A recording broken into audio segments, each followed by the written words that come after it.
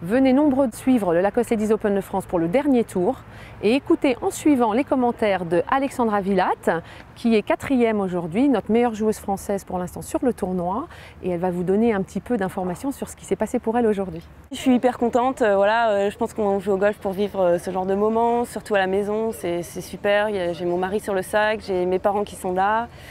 Euh, voilà, donc j'ai hâte d'être à demain. Après, je pense que je vais essayer de garder ma stratégie, c'est-à-dire de ne pas agresser le parcours, euh, euh, de jouer sereinement et puis qu'il y ait quelques birdies qui tombent. voilà.